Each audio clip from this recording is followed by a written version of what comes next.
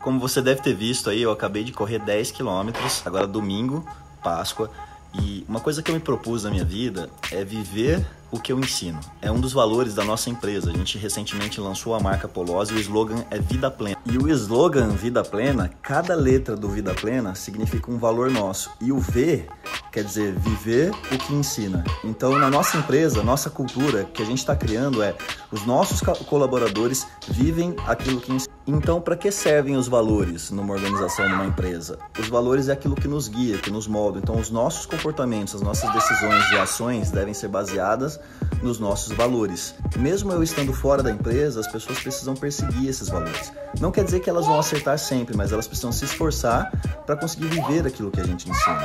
Que não é tão fácil assim, não é, exige esforço, exige uma melhoria contínua. Então, se a gente acredita em saúde, em energia, que é importante fazer atividade física, que é importante se alimentar corretamente, não que a gente não vá sair da alimentação. Você viu recentemente aí eu comendo pizza, às vezes eu como porcaria, porque eu sou humano. Mas na, na maior parte do tempo eu procuro cuidar da minha saúde porque é algo que eu ensino, eu acho, é algo que eu mostro que é importante para as pessoas, aumenta o nosso nível de energia, produtividade, a gente se sente mais jovem, então tem N benefícios.